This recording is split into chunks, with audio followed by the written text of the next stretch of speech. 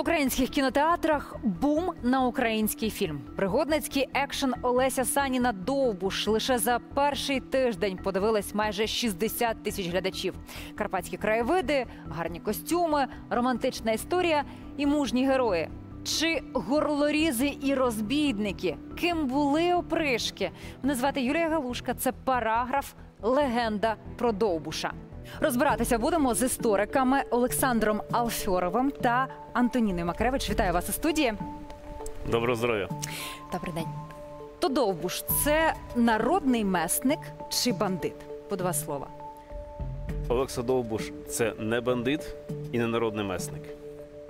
Героїзований месник, який користувався розбійницькими методами. Хай буде так, поговоримо. Власне, давайте поговоримо, бо що ми знаємо про Олексу Довбуша? Вбити його можна, зарядивши рушницю зернами ярої пшениці або срібною кулею, або золотим волоссям, над яким правлять службу 12 попів. І потрапити треба точно під праве плече. Тут так говорять карпатські легенди. Ну а що з того, що вдалося дізнатись Михайлу Грушевському, то знаємо, що народився Олекса Довбуш 1700 року у Печеніжині, це Прикарпаття. Перші документальні твердження про його загін опришків це 1738 рік. Ну і разом з ним у його ватазі був рідний брат Іван. Наступного року брати сваряться. Іван Сокирою робить Олексу кульгавим на все життя. Загін розділяється, але успішно діє проти шляхти на карпатських теренах аж до 1745 року. А 24 серпня Олекса Довбуш гине згідно з офіційною версією. Через зраду, втім, інша версія каже, що вбивцею народного героя був такий собі зраджений чоловік Штефан Звінчук, до дружини якого нібито навідувався головний опришок. Тут треба говорити, що з цього е, ну, така е, прояв народної любові, а що з цього може бути історичною правдою. Власне, е, ким був е, Довбуш? Ви знаєте, насправді, от для мене та, треба розуміти, що Довбуш це один з сегментів величезного процесу, який розпочався ну, при, приблизно наприкінці 15 століття, це через згадку, але тобто в 15 столітті і завершився в 19 столітті вже з різними там оцінками, як процес такий загальний. І зрозуміло, що ключем до розуміння Довбуша є е, перший метод не вихоплювати його окремо з руху до цих от опришків. Опришки це як в принципі опричні люди, які вони себе вважали незалежними. І в принципі, якщо ми з вами подивимося на всю діяльність опришків, відкинувши е, термін збойця, так, польський як вбивця, так, відкинемо термінологію совєтську, селянські повстання, і відкинемо всю цю от, насправді літературну е, шапку кучму, яку таку волохату, яку натягнули на цих опришків, то ми побачимо за ними іншу ситуацію. Е, в Україні проти власної уряду повстання ми можемо перелічити на пальцях. Там, 1068 рік в Києві повстання проти князя Ярослава Ярославича, повстання, грубо кажучи, Северина Наливайка проти Острозьких, але це завжди якісь моментальні повстання. Так, щоб це був процес, такого не існувало. І це засвідчує про те, що опришки насправді воювали за щось інше. І те, що нам в голови напхали там гайдамаки, це повстання селянські, а потім дивишся цей період весь Гайдамаччини і очільники Каліївщини, Гайдамаччини, коли вони приймають титулу князів на себе, знаєте, коли вони думають відновити Гетьманщину, думаєш, про які селянські речі де? Е, Опришки це люди, які знаходилися на своїй території під пануванням чужих еліт, і це був нормальний процес. Вони просто були постійно з 15 століття не згідні.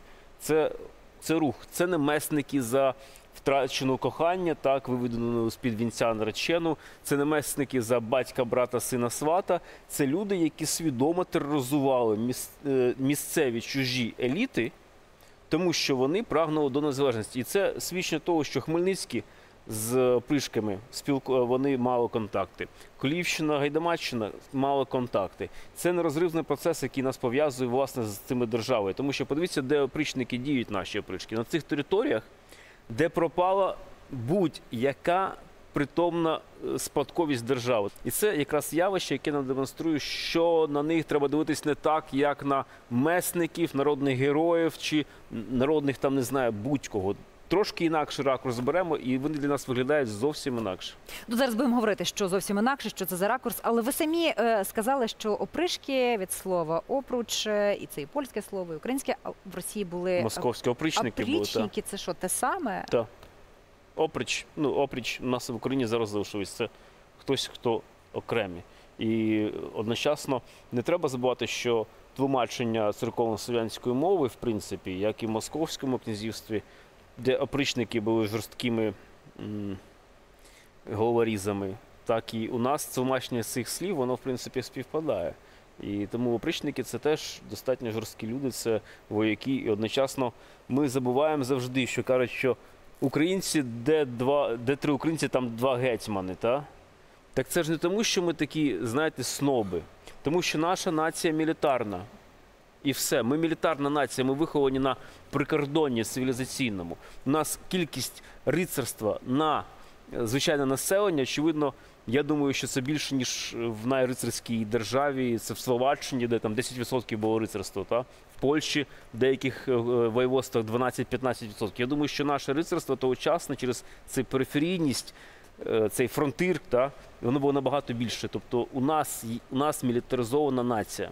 І оприч, опришники наші, опришки це наслідок того, що прийшла нова еліта своїми загонами, і ці всі старі родини, які трималися зброї, вони просто продовжують цю справу. Вони дали майбутнім поколінням це право на боротьбу. Як писав Мазепу, Мазепа е, «Же през шаблю маємо право.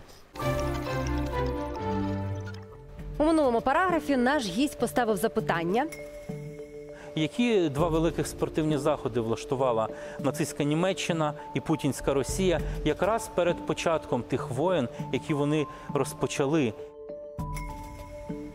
І ось правильна відповідь. Мова йде про Олімпіаду 1936 року, яка відбулася в Берліні, і про Олімпійські ігри у Сочі у 2014 році. Згадаємо, хто такий Олекса Довбуш. Це він походив з бідної селянської родини, з коморників. Тобто, це ті люди, які жили в коморі. Вони не мали своєї хати. Вони фактично були це наймит під наймитом, грубо кажучи. Тобто, це люди, які були. Супер невдоволені своїм життям, їм було за що проти чого повставати. І Олекса Довбуш він показав своїм прикладом. Він долучився до цього руху. І е, як ви, пане Олександре, зазначили, що це був рух. Ми не можемо говорити про Олексу Довбушу якось окремо. Це справді така репрезентація часу, і дуже цікаво, чому народна пам'ять його запам'ятала саме так, що він був став героєм в народній пам'яті. І те, про що ви говорите, що ми мілітарна нація, і це теж вкладається сюди дуже, дуже, як на мене, дуже добре. Так а за що власне е, опришки воювали? Ви почали про це говорити, що це було щось інше, і не селянські повстання, а от явище. На тих територіях, які виш, е, були в складі Королівства Русь, потім були розділені через різні е, процеси, де залишилися люди, яким дали чужу еліту, от там починається все. От. І це процес величезний. І Довбуш не просто герой для них був. Ви подивіться, ви згадали про це е, ворожіння на зброю, щоб вбити його. Та? Це ж реальна наша індоєвропейська традиція воїнських культів, яких порівнюють з вовками. Це зграє і вбити таку людину перевертня дуже важко. Довбуш перевертень. Давайте так, от відразу скажемо, він фіксується як перевертень. Його треба вбити як перевертня. Він дійсно він легенда прижиттєво став легендою. І тут не важливо, якого він походження, тому що для українських теренів насправді дійсно, якщо ми так подивимося, комірник, е, і пані Антоніна зауважила, що це дійсно це біднота з бідноти. Їхнє все майно це кілька там овечок цих от Так, яких вони випасали, і Так, все. так. Тобто нема ні землі, ти раб по суті. Але о, в цій ситуації в українській оця от наша мілітарна культура говорила, що твій дід, якщо був багатим, ти можеш бути рабом, тому що постійно все змінюється. Але у Довбуша звідкись є уміння вбивати. Ну, от справді, давайте так скажемо, що солдат це той, хто вміє вбити, дивлячись в очі. 99% хто ти вбиваєш чуєш їх останні слова. Селянин вміє це зробити. До речі, дуже цікаво, що ми, нам відомо саме з період 38-45 такі найзафіксованіше.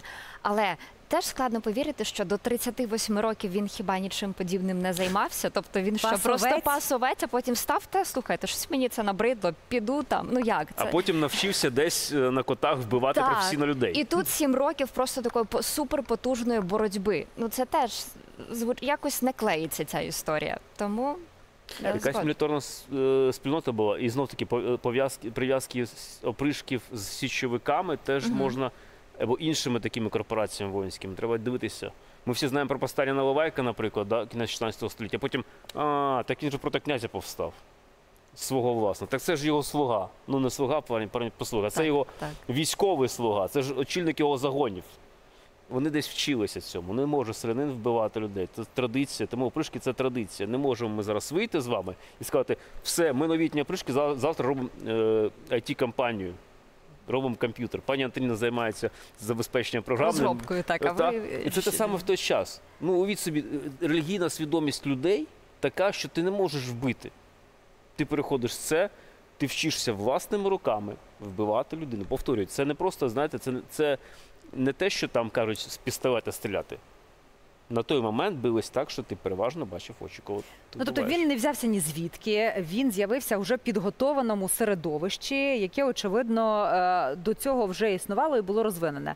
Е, Що ми знаємо про цей рух? Е, Скільки людей він налічував, наскільки він був монолітним? От взагалі як це працювало всередині? Опришки, перша згадка це кінець 15 століття. Ще є також е, така дата 1529 рік. Але ми говоримо про те, що в 16 столітті опришківський рух вже точно був, тому що він вже потрапив у писемні згадки. Ми теж розуміємо, що у писемні згадки потрапляє не одразу щось. Тобто це явище має існувати, щоб потім потрапити. Тобто він стає зрозумілим і про нього починають писати. Тобто 16 століття, якщо ми говоримо, що е, Довбуш народився в 1700-му, тобто вже років 200 ця структура існувала, і те, про що ми говоримо зараз, що, мабуть, якісь вміння однозначно вони передавалися. Е, це були загони, це були розбійники, як пише Інститут історії України, що це були розбійники. Цей рух це Прикарпаття, е, це Покуття, це якщо говорити сучасними такими географічними орієнтирами, це е, Івано-Франківська область, так, південно-східна частина її. І потім цей рух розростається. Тобто це Карпатські гори, коли сама природа спонукає до того, що дуже зручно десь сховатися, е, дуже зручно місцевому люду там існувати. Вони знають, де можна, як можна, коли можна, і вміють.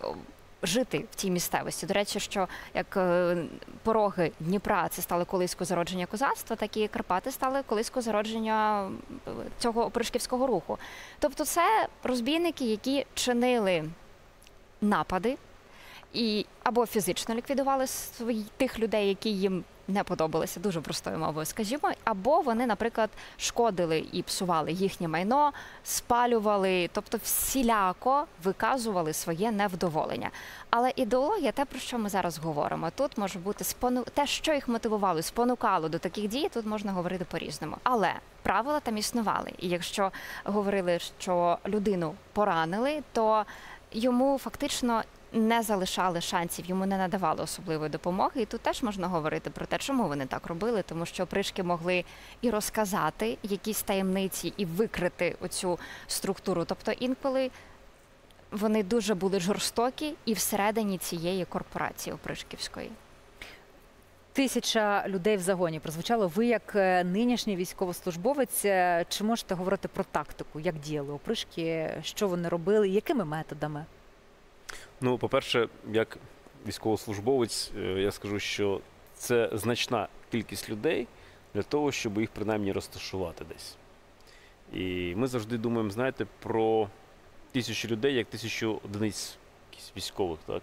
Я, як історик, вже думаю про тисячу бодай дводенних порцій харчування, тисячу кількаразових денних е, фізіологічних потреб, тисяча м, з них беремо, відрізаємо якусь там 10-10 частину. Це крадіжки банальні. Це я не порівнюю з нашою армією, але це порівнюю з місцевістю. Чи раді було бачити селяни такі тисячі, тисячний загін? Не раді. Не раді. Це гвалтування, це мародерство, це. Ну, давайте так по-чесному. Тобто тисячі людей, з них завжди знайдуться ті, хто зможуть порушити дисципліну. Тому тут питання до дисципліни і Я знаю, що Олекса Довбуш він був е, жорстким в утриманні своїх загонів. І насправді, коли про нього говорять, то романтики там мало, дійсно людина, яка могла тримати все в своїй руці. Е, Тисячний загін для в цілому і 17 століття, і 15 16 це дуже великий загін. Це дуже великий загін. Скажу так, що армії, от до того, як Європа одягнулася, задягнулася в імперські шинелі, та це ми чомусь звикли, що багато, багатотисячні армії, коли створюються там Нап- Наполеон іде, наприклад, да, там, там 100 тисяч, там 200 тисяч, 150, туди-сюди. Але насправді час європейських воєн, то це армії, там, ну, коли кажуть великі, це 30-40 тисяч людей та, на той час. А в часи там, от, виникнення опришків тільки, ну, та, кінець 15-го, початок 16 століття, ну, це армії там величезні, це по 20 тисяч людей. І це е, вертикальна структура. Наскільки ну той же Олекса Довбуш міг управляти всією тисячу людей? Чи це автономні загони, які діяли на свій розсуд, самі обирали е, кого ну кошмарити, можна сказати, якщо там різні методи були? І так б теж можна сказати, я гадаю. Ну так, бо судячи з того, що інколи ми бачимо з джерел, то це викупи з містян. Е, Що це значить? Викупи з міста. От, що ми не будемо брати ваше місто, дайте нам гроші. Це такий рекет, Е, вимагання. Ну, такі мраки, це нормальне абсолютно явище. Коли Хмельницький під Львів підійшов, то вони ж теж викуп взяли зі Львова. А Єрема Вишневецький сказав, що я вас захочу, дайте мені гроші, взяв гроші і поїхав. Знаєте, кинути містян в той час це було правило номер один. Не знаєш, де взяти гроші, давай скуп... веди справу з містом. Та. Чи е, це були розрізнені е, бойові підрозділи? Чи це прям така була армія? От у мене є тисяча е, кого там мечів. Щоб побачили в одному місці тисячу опришків, та, це треба було ну, постаратися. Це не професійна армія в такому. Вони вміють вбивати, вміють воювати, але треба розуміти, що тисячний загін міг бути протиставлений, наприклад, 200-300 тодішніх вояків серйозних, яких нічого, жодних стримань не було. Та. Діяли вони різними загонами, і коли вбили ж того ж Довбуша, при ньому було лише кілька охоронців. Та. Так, тобто він же ж чомусь помирав від ран. Він помер фактично від того, що йому не надали вчасно медичну допомогу. І він помирав, і навіть е, біля нього, біля його вже тіла, фактично знайшли дзбан з молоком. Тобто, скоріше за все, йому намагалися якусь надати допомогу, але, мабуть, не змогли врятувати. Але знову ж таки, якби достатньо було людей, вже так, такий герой про нього вже чули. чу- Чутка пішла про нього, всі знали, хто такий Довбуш. І якби було достатньо людей, і вони могли б йому надати допомогу, то скоріше за все вони би це зробили. І до речі, про місто ми заговорили. А я згадала момент, коли приходили до батька Довбуша, до Василя, і казали з корчми. Корчмар приходив і сказав: слухай, ну може ти якось захистиш мене від свого сина. Він їм казав: Ну ти нагодуй хлопців, і типу вони тебе чіпати не будуть. Тобто, це теж про те, як можна було домовлятися. Такий не точно це незаконний був спосіб, те, що вони робили, і за тими законами, які тоді діяли, і за Божими законами, звісно, це, це було все неправильно. Однак всі домовлялися з Довбушем, з його опришками так, як могли, і в корчмі діяли такі, наприклад, методи. Тобто вони бралися від корчмаря. Лихваря до якихось панів. Е, Оцей спектр Так. е, ворогів опришків був дуже широкий. Заможні селяни теж їх не влаштовували. Тобто у них вибірка була велика. Вони Тобто, це е, тому Олекса Довбуш е, за радянського союзу був доволі відомий, бо принципи ті самі відняти і поділити. Що це було? про антифеодальні оці от всі штуки, які були дуже популярні в совєтській історіографії, вони якраз ширилися. І, те нашарування, яке наклала радянська історіографія, те, от, де те, чим те, що перекочувало дещо і в нашу історіографію, але ми. Активно це змиваємо, і ми тепер зараз тут з вами і розвінчуємо ці міфи, аби розуміти, хто насправді, бо свою історію треба знати правдиву. Якщо вони діяли розбійно, то ми не соромимося про це говорити, аби розуміти. Але також цікаво, як люди його запам'ятали. Чи треба ці міфи е, розвінчувати? А, міф е, це все те, що не релігія, та? так філософські визначення. Е, Справа в тому, що міфи бувають двох конкретних, е, скажімо так, напрямків. Міфи державницькі. Наприклад, всі поляки знають, що у них є меч щербець, яким коронували польських королів, і що цим мечем щербцем Болеслав Хробрий, їхній король в 1016 році бив по золотих воротах в Києві. Але всі поляки знають, що цей меч датується 13 століттям. Правда? І от поняття міфу, воно дійсно дуже таке от е, багатогранне. І одночасно ми говоримо про те, що Довбуш це легенда. Так, Е, це навіть вже міф державницький, бо Довбуш це один з опертів в цілому істо- історії. Проте Довбуш є незнаним добре міфом, тому що на ньому є нашарування величезної. е, Ну, я кажу так: не хочеш вчити свою історію, тебе змусять вчити чужу історію. Та? Це парафраз до не хочеш годувати власну армію, будеш годувати чужу армію. І в цьому контексті Довбуш є. Я вам скажу чесно, коли я навчався в університеті, коли в школі, коли я чув тему Довбуш, мені, мене нудило. Тому що це була тема, яка була мені абсолютно не цікава. Мене хотіло переконати, що людина, яка очолювала якесь селянське повстання, проти кого я не знаю, тому що там були і проти панів, але відразу бачиш, ага, він е, проти панів, але і за євреїв. Та. І тут проти євреїв, але і за селян. І тут проти багатих селян, і тут проти бідних селян. І ти не розумієш, що е, відсутня була система координації Довбуша. Який він герой? Бо знаєте, на віру можна сприймати, що Довбуш герой. Те саме, те саме, що хто герой 1648 року? Хмельницький чи Єрема Вишневецький?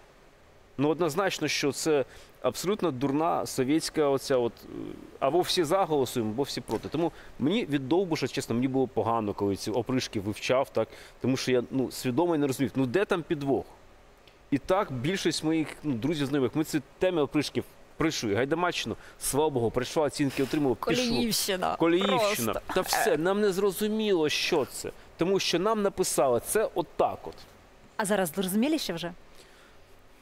Процесі. Ми в процесі. О, це Ми в справедлива процесі. фраза. Ну, власне, ви теж можете перевірити свої е, знання про цей історичний період і про цих історичних персонажів. Е, Питання від нашого гостя. Власний варіант правильної відповіді. Пишіть, будь ласка, в коментарях. Правильну відповідь дамо вже в наступному параграфі. Прошу. Хто з відомих українських письменників писав про опришків?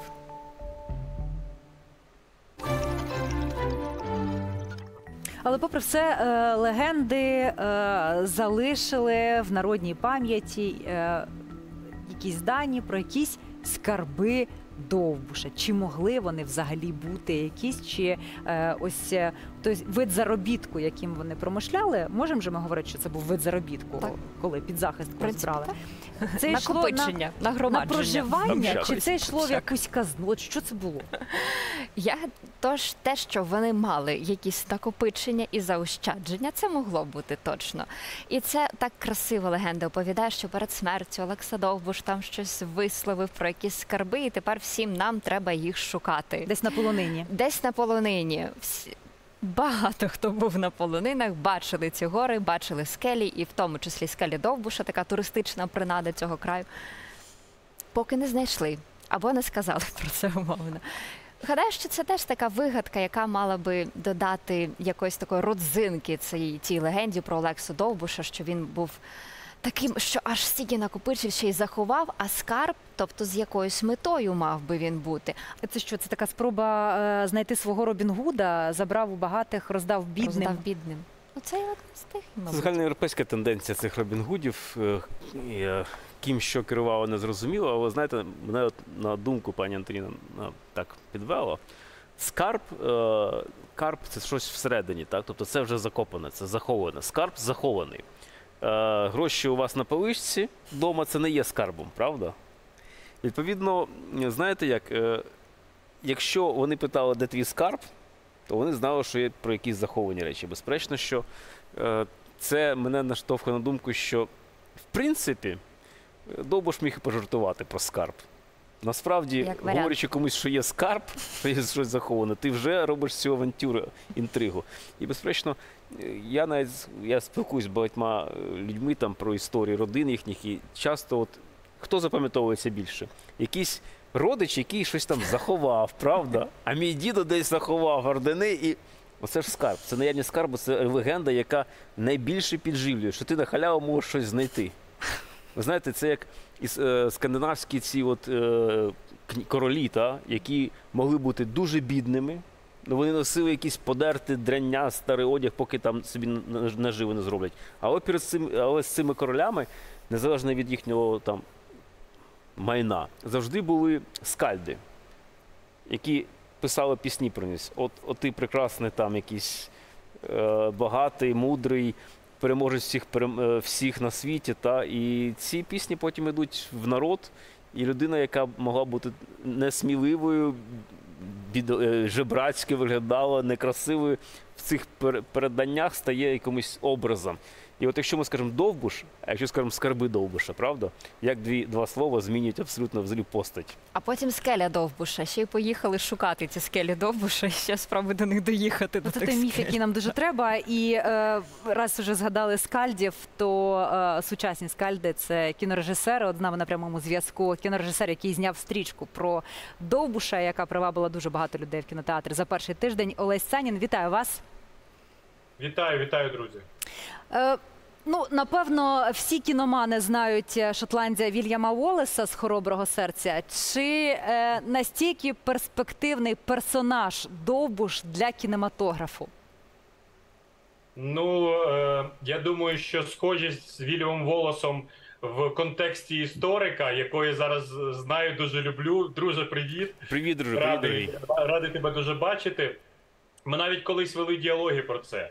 Бачите, якщо ця історія надихає століттями людей, і кожен з них розказує свою власну історію про Довбуша, то очевидно, що в цій історії великий потенціал. Значить, вона е, і навіть життя реального Довбуша для цих для людей стає менш важлива, ніж легенда про нього. Ми живемо в історії легенд, ми потребуємо цих легенд. От згадайте сьогодні. Ну я не знаю, мені припадає на, на початок війни. Ми всі тішилися легендою про те, що існує якийсь один пілот, який береже весь Київ, якого збити не можна. Правда? Ми ж е, вірили в це, е, знаючи, що ще видно, що це може бути не одна людина. В нас є історії про кіборгів, яких вбити не можна, що як пишуть, що бетон не витримав, а витримали люди. Велика частина в цьому якраз і наше бажання створити собі героїв, вірити в них. Але в моїй історії, в моїй концепції, це теж е, історія про те, ну, власне, є дослідженням про героя і славу. От ми зараз вітаємося щодня, кажемо слава Україні! Відповідаємо героям слава. Власне, мій фільм є така мій, моє дослідження про героїв, кого ми називаємо героями про славу, про славу, яка руйнує, про славу, яка возвеличує, і в кінці кінців про ім'я, яке буває навіть більше, ніж сама людина. Таке маленька історія про те, як ми створюємо собі героїв, і чи відповідаємо ми е, цій історії, і що від неї лишається в віках. Ну, раз ви з паном Олександром е, добре знайомі, чи не консультувався пан е, Олесі з паном Олександром? Ми, е, ми ну, ми говорили про різні говорили проекти. по цій історії так з Олександром, але в нас дуже багато тем. Я дуже підтримую його концепцію роботи з історії з історичними документами. Ми знаємо, що дуже часто переписують історію переможці. Е, Кожен раз новий князь переписує, кожен імператор переписує, розповідає, який його рід величний, які він подвиги робив. В нього є свої придворні історики, які фактично пропагандистами працюють е, для нього самого і це лишають в віках. А на противагу цьому є народні історії. Я знімаючи фільм Довбуш, я не сподівався, що він стане настільки актуальним сьогодні. Я розумію про те, що війна актуалізувала дуже багато речей в фільмі. Я фільм закінчив повністю до повномасштабного вторгнення, і тільки фактично займався постпродакшеном. Складно дуже евакуйовуючи там е, цілі продакшени за кордон. Наші польські колеги нам дуже допомагали, але фактично фільм був готовий. Я не сподівався, що він стане настільки актуальним. Це моя моя персональна історія. Як я розумію історію, я розумію героя, і це не байопік, це не документальний фільм. Це власне е, моя персональна легенда про. Е, про легендарного Лексу Довбуша, звичайно, яку я будував на вивченні історичних матеріалів. Я перечитав все, що тільки можна в істориків, але це трошки інший жанр. І ще він зв'язаний з тим. Ну, до речі, про це в нас цілі якби історії дискусії. Сама природа кіно така, що вона міфологізує, і сама природа мистецтва така, що вона міфологізує історію, актуалізує факти людські, але в які люди більше вірять, надають їм якихось якостей навіть надприродних, тому що люди люблять історії, люблять їх розповідати, люблять їх переповідати і люблять міфологізувати і себе, і своє життя. Це ми потребуємо. Тому мій фільм більше в цій стороні лежить: мистецтва, дослідження, е, грою оцього супергероя, розвінчання цього самого образу. Але що стосується справжніх історичних джерел, я ну я дуже буваю акуратним. Мені дуже важлива е, реальна правда, але популяризація речей відбувається в зовсім інший спосіб, звичайно.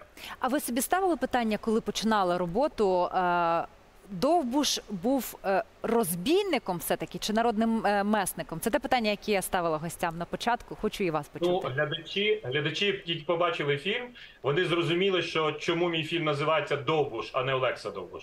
Це власне історія про двох довбушів, двох героїв, але в кожного з них був свій шлях. Один був з розбійником, е, який здобував собі славу власне тим, що нехай він війде в історію е, навіть як розбійник, навіть як злодій. Йому дуже було важливо, щоб він лишився. Його ім'я не витерло, як всіх інших з історії. Він таким чином хотів попасти в історію стати легендою.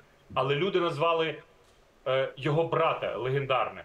Вони пристали до нього, до того, хто навіть не хотів бути ніяким воїном, не сподівався ні на які подвиги. Він просто хотів людського, простого людського щастя з тим, кого любить. Але обставини заставили його взяти до рук зброю, захищати те, що він любить. І це власне цим він схожий на всіх теперішніх довбушів. Ніхто з тих, хто зараз захищає нашу рідну землю на передовій, не хоче бути ніяким героєм. Вони просто хочуть е, добитися перемоги і вижити. Немає нікого, хто заради медалі готовий зараз віддати своє життя. Це ж нонсенс, правда. Але ми потребуємо цих героїв. Ми їх мі- міфологізуємо. Зараз е, на камерні е, оці е, на шоломні камери знімають для нас фантастичні історії.